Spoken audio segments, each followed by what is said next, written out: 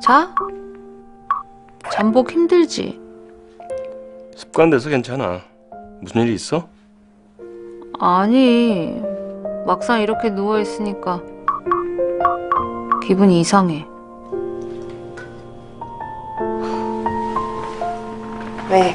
잠이 안 와요? 아,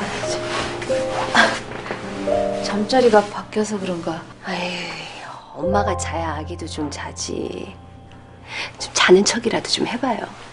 아, 예. 저기, 말씀 놓으셔도 돼요. 그럴까? 저기 순옥 씨나 아람 씨 알고 보면 괜찮은 사람들이야.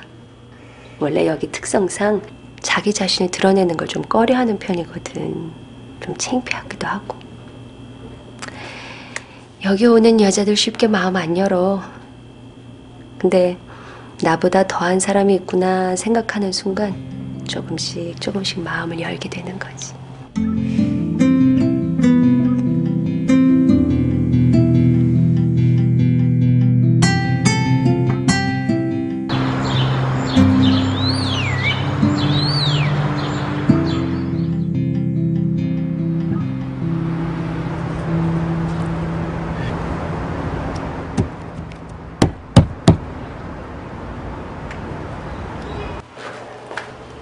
아침 식사입니다.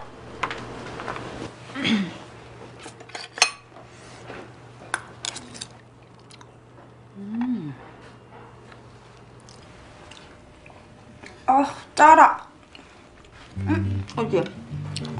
오, 아, 솔트가 따로 없네. 안을 못 맞추지. 피곤해. 배 아픈 것 같다. 맥박이 빨리 뛰는 것 같다. 체온이 내려간다. 아휴, 너무들 예민하시네.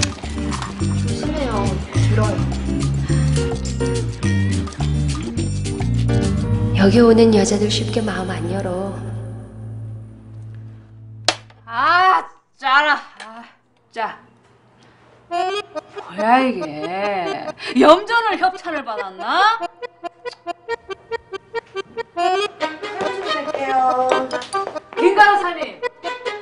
왜 이렇게 짜요? 이거 없는데. 아니, 다 짜다고 하잖아요. 그죠? 짜죠? 조리사님한테는 안 짜도 환자들이 짜면 짠 거 아니에요? 나 이렇게 하면 어딨어? 조리실 어디에요? 앞장서세요. 아, 진짜. 아, 아니 저기 몰라 했는데. 네, 네. 아니 저기 내가 못 참아, 진짜. 어? 거짓말이야, 거짓말. 너무 맛있어, 호텔이네.